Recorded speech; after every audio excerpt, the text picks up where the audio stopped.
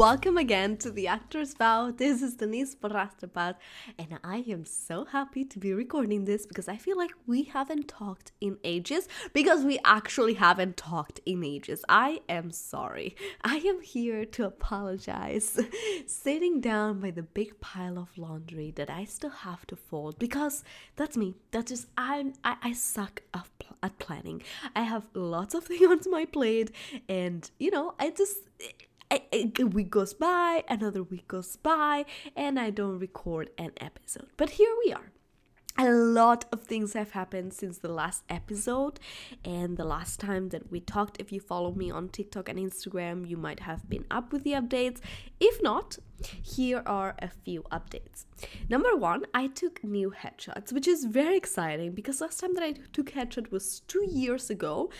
And let me tell you something, I am not the same person I was two years ago, mentally, physically, anything like that. And I had a tummy ache anytime I looked at those two year old headshots and thought of the idea of submitting myself with those because I was like, I feel like I am lying to these people, telling them this is what I look like. And not even in a good way. I I think I have evolved in a good way. So to me, it was a little frustrating to not have taken new headshots. So we did that. We went to take new headshots, and that's gonna be part of this episode. We're gonna get to it later, the details on how to take headshots, how my experience was this time compared to other times I've taken headshots, and some tips for you guys when you go take headshots. Something else that is coming up is that it's award season.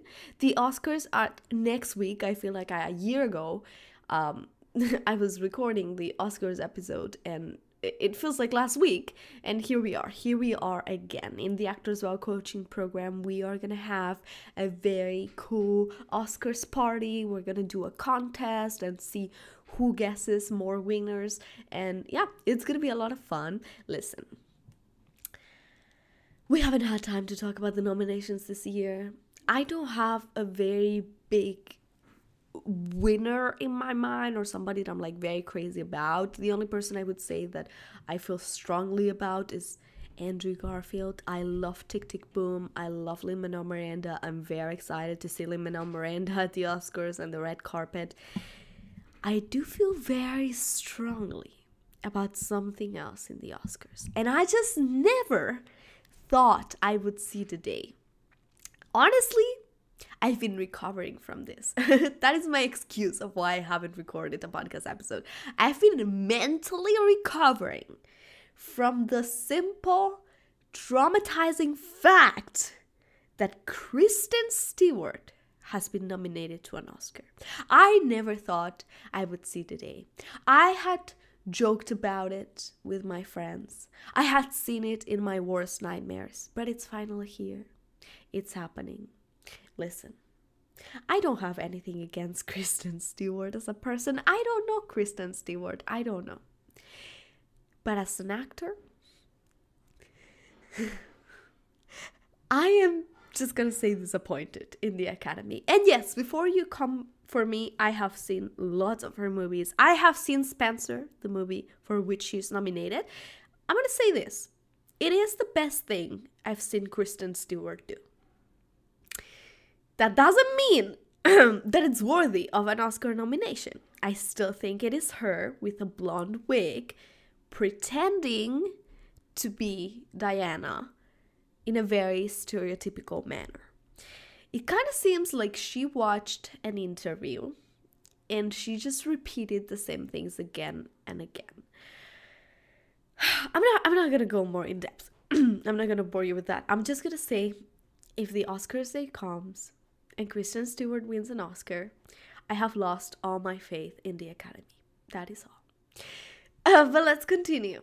So, let's go more in depth with the headshots that we were talking about. I went to take headshots. The first thing that you have to do when you go take headshots is figure out what photographer you want. And there are so many options. When you join the Actors Vow coaching program, you get a list of photographers that I personally recommend in New York and in LA. and they are organized by price range. There are so many different price ranges. I'm going to tell you, I understand not everybody has so much money, you know, to invest in those headshots, but headshots is not something you should go cheap on. Headshots are an investment in your career and a very key important part of your marketing as an actor. Why are headshots so important? Well, First of all, they're going to be in casting websites and your social media and all these things that people are going to see way before they even see you in person, right? They have to catch their attention. There is so many headshots out there. So how are you going to stand out? How are you going to make them stop and be like, "Whoa. This person looks interesting." Second of all, even after they have met you, you go to an audition, you bring them your beautiful printed and stapled resume and headshot. They keep that headshot, right? And once they're making the decision and going through all the people that they've been seeing throughout the day, which might be hundreds, might be thousands in some productions, all they have left of you is a few notes, if any, that they took of your audition and that headshot. A lot of times it comes down to that. A lot of times it comes down to I don't remember that audition so well. I liked it, but I also like this other one. Oh, look at this headshot. This is interesting. This is mysterious. This makes me want to know more about this person. Okay, I'll go with them. And and and that's one of the reasons why headshots are so important again other than that's something that you're going to be using for your marketing for your business cards for you know your website and all that stuff which is very important too so, headshots, you have to find the photographer that works for you. While staying in your range, I understand. I understand.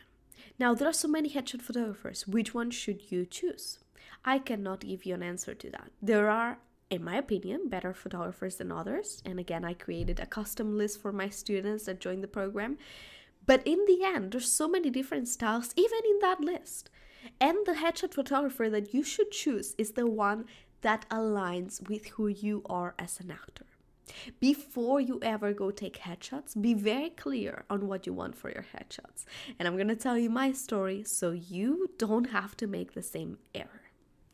The first time that I took professional headshots, I took them with David Knowles. If you don't know who David Knowles is, he is one of the best New York City headshot photographers. In my opinion, the best. One of the best headshot photographers in the world. I saw him, I saw his work. He took Lupita Nyong'o's headshots. She looked, oh, oh my god, I mean, the woman is amazing. She's so beautiful. She's a goddess, right? I was like, I want to take headshots with him, which is great. I saved my money. It is a lot of money. It's an investment to take headshots with such a great photographer, but I was willing to make that investment. Now, I had not even graduated. It was my senior year of college, and I was like, let's take the headshots, let's get ready. So when I graduate, I am ready to go. David Knowles was amazing. I'm just gonna say now, and I'm sure I've said it before in this podcast, that was one of the best days of my life, and I am not exaggerating. David Knowles, if you ever listen to this, Taking headshots with you was my best headshot experience ever, hands down. It was like a party. It was eh, there were, we were there so many hours, and he was so much fun making you feel comfortable and giving you direction and, and, and giving you advice. He knows what he's doing. But I was not ready for that. I went to that session with like 10 clothes choices and no idea of what I wanted to portray. I mean, yeah, sure. I was like, I'm an actor combatant. I know how to, you know, fight with swords. Um, you know, I also um uh, uh, you know, no idea. it was so vague. In the end, I mean, we kind of narrowed it down to like three looks. But in the end, because I didn't know what I was going for, I ended up with very broad headshots, very vague headshots that could have served for anything but also didn't serve for anything specific. And and that's one of my biggest regrets. I wish i had known my type and myself more back then when i took those headshots. They came out spectacular. Anyway I, I, and and and that's all on david knowles and his amazing makeup person. Um any of the headshots he took could have worked as my main headshot moving forward, I took other headshots, and the, the, next time that I took professional headshots that I used uh, until almost now. I've taken professional headshots four, five times in my life. Um, but one of the next times, I had already signed with an agent here in LA. And once you have an agent, Mm, they will ask you to take headshots and they will ask you to do very specific things because those are the types they see you as and they want to submit you as. So the problem that time is that I went to a photographer that was not my preferred. It was something that my agent said, go here. That's the first one. Second one, I didn't go with the types that I wanted to go for. I went with the types my agent wanted to go for. And silly me was not gonna tell my agent, well, I don't agree with that. I don't see that. This is what I want to go for. Because back then, I didn't know how to stand up for myself. So I took headshots that did not align with me. I had this headshot with this like fake glasses, this very quirky, nerdy character, which is not me. That's not a type I would go for, to be honest. Then I had these headshots that look like a lawyer, and I'm like, Sir, I am 21 years old. I I could not go for a lawyer role. I do not look like that. I have a child's face. I am 21, but I look like I'm 15. So definitely, I would not get cast as a lawyer. I'm, I'm, not gonna go further with that. You can see that I'm getting emotional about it. By the way, this is a very big and good agency, commercial agency in LA. So. that was it. Those were the headshots that I got. Again, those were headshots that I was not completely happy with. I continued using the David Knowles headshots, even though they didn't look like me anymore because I had dyed my hair with highlights and, you know, I had grown from, uh, you know, 20 to like 22, 23. I continued to use ones because at least those were good headshots and I enjoyed, um, at least it looked more like me. Let's put it like that. Fast forward, pandemic, two years go by, now taking headshots again. It is time to do my own research. I have discovered myself a lot as an actor and as a person through the pandemic, and I want to think that I'm very clear on what I want for myself and my career moving forward. So I found a photographer that I really aligned with, and um, he works with a lot of working actors. To me, that that is something important. And I'm not saying that there are not big names that are incredible headshot photographers, but to me, seeing that a photographer works with a lot of current working actors is a good sign. And he works with a lot of big agencies here in LA, and to me, that is well the people who are getting work are here. So he knows what he's doing, he knows what the industry wants, he knows what's up.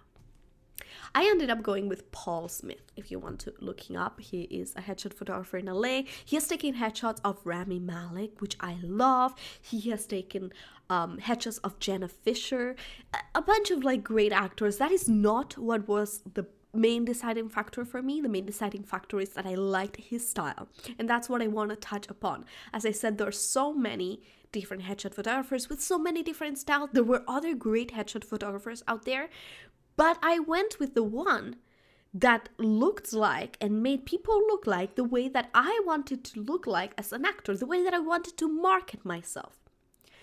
Right? There's so many ways to market a product and you have to go with the artist that aligns with your artist's values. That's how you're going to choose a headshot photographer. Now, you cannot do that unless you truly know your product.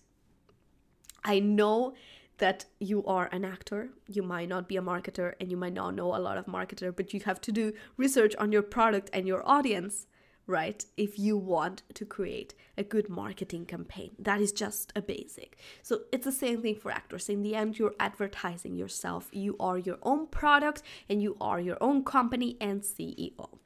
So I scheduled the time with him. He was amazing. He was very kind. It was very quick. We scheduled the time for a month later, which is very quick to be honest. I think David Knowles was more time to wait. And we made it happen.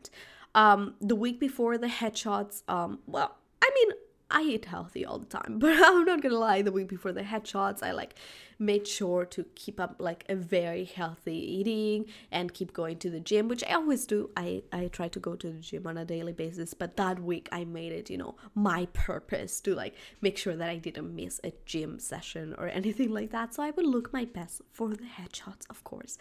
And then the day arrived. My headshots were scheduled for 8 30 a.m. starting with makeup, which means that I woke up at like 6 a.m. I did my whole skincare routine because I, am gonna tell you something. I don't know if I've said this before. I am not a morning person.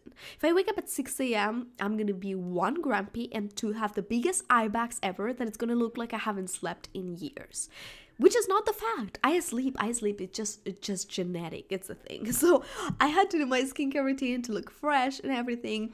I had a good breakfast and then headed to the headshots. It was fun. It was fun, it was quick, it was very efficient. I think part of it because Paul is a professional and knows what he's doing, and part of it because, again, this time I knew exactly what I was going for. And let's go into that. What should you go for when you go for headshots? I get that question very often. What are the emotions I should portray? What should I do for my headshots? And the answer is there is no one answer. I cannot tell you what to go for for your headshots unless you are, you know, for example, my student and I know you really well. You have to know that yourself. You have to know what you are best at. You have to know what you want to be seen as. But not only that, there is a big part of it that is this is what I want to play, and another one is this is what I look like, and I'm most likely gonna be get cast. And that was a big debate in my house. Let me share that with you. I consulted with my partner. Hey, this is the types, the things that I'm thinking of. This is what I want to go for and what I want to take my headshots like. And he said, Well, I can see that. And you're a great actress. I have no doubt that you can play those characters. In fact, I've seen you play those characters. But those are photos. And if a casting director looks at you, like just looks at you without seeing you act, seeing you move anything, just your face, that is not what they're gonna cast you as. Because that's not what you look like. He said it he said it like this. I still laugh about it. He said you are talented like a don julio but you look like a strawberry margarita I don't know if you guys get that reference or if you drink or anything, but I thought that was very accurate. Sure, I look like a strawberry margarita. I get it. I get it. I have baby face, I am blonde, blue eyes, the stereotypical strawberry margarita. I get it. So, what I decided to do is take three different types, which I think is a good amount for headshots. I would not go less than three different types. If you're taking headshots, I would do three minimum. If you want to go for four or five, that's good. I think five might be a little bit too much, unless your agent is like take five different types. If you're just going by yourself, three to four, I think is a great number. One of the headshots should be most definitely a legit headshot. A legit headshot is a headshot that is for your more theatrical, more dramatic stuff. It doesn't even have to be dramatic, it's just a serious headshot that represents who you are. Just plainly who you are. Then there should be a more commercial headshot. That's the second type. Something that's more uh, wholesome, something that's more bright, a big smile, you know, something that's more welcoming. And then you can do a more character headshot. A headshot that might be a little bit further than what you would think that you could play or what somebody that sees you would think that you can play. I think those are very three great types, and that's what I decided to go for. I went for one, my more commercial, bright, welcoming, wholesome headshot, which I also decided to make my more young teenager kind of, of show, which is big smile, nice, that kind of thing, bright colors. It was a pastel blue color. Then I decided to go for my more legit headshot, which is more what I look like on a daily basis when, you know, on a good day. It's light makeup, very cute, which I decided to make it also more like my romantic comedy, love interest, girl next door. I think that those are my main types, the strawberry margarita kind of types. And then I did my more character headshot. We added a little bit more of makeup, we added some eyeliner, straightened my hair, added a little bit of um, darker clothes, and we went for a more serious character, more for like an action movie, thriller, something that, again, maybe if you see me the first time, you wouldn't think that right away, but in a well characterized manner and good makeup, I can totally look like that, and I absolutely can act in those movies. I loved the types that I chose for myself I am so happy that I knew this time what I was doing because the results talk for themselves. If you want to do them, to see them, you can go to my Instagram. They are all posted there. I like the range that the headshots show, how there is the very young me, the more mature me, and the more normal me, and and there is so much in it. They show so many different characteristics for a character and so those are headshots that I'm gonna feel happy using. And that is the goal for your headshots. Paul Smith, by the way, if you are in LA or think about getting headshots, would be the person that I would go to. I am so happy about again the result of the headshots, how fast I got them back. I got them back within like 24 hours, and then I got them edited with um, his editor that he works with, and she also was so fast. She got them done in like three days, nine different headshots. So thank you, Paul. Um, thank you, Mary, and thank you everybody involved in this process for my headshots. Again, if you want to take headshots in LA, I definitely recommend Paul Smith. If you have questions about headshots, what you should do, what you should not do, you always can feel free to DM me, send me a message. I will answer your question either private or in the podcast if it's something that everybody would benefit from. But those are my biggest tips for headshots. Three to four headshots, have a legit a commercial and a more character one. Do not do something distracting. Do not go too far of who you look like, meaning if you don't wear glasses and you have pin straight hair, do not go with the curliest hair with glasses unless you really, really, really want to go for that character shot and that's really something that specifically you want to do. I would not recommend going that far out. Your headshots have to look like you. And then we when it comes to picking the headshots that you're gonna keep, because I was sent 300 headshots and I chose nine out of 300, you have to pick the ones that look more like you and what you're going for. You should not pick the ones in which you look more pretty or more glamorous or more model like. Pick the ones that look most like you. If you want to learn more about headshots, get into details, and have someone to guide you through the whole headshot process, the Actors Vow coaching program just opened doors yesterday, March 15th. It's closing doors in three days at the end of the day on Saturday. In the program, we talk about headshots, we talk about representation, we learn acting technique, and of course, you get me as your personal acting coach to guide you through all that, through auditions, self tapes, and everything that you might need in your actor's journey. If you want to join the coaching program, you can go to tavcoaching.com slash start that is tavcoaching.com slash start. You can go to the link in bio in the actors vow instagram page or on the tiktok page link in bio. You also can join there. Let me know if you have any questions about the program.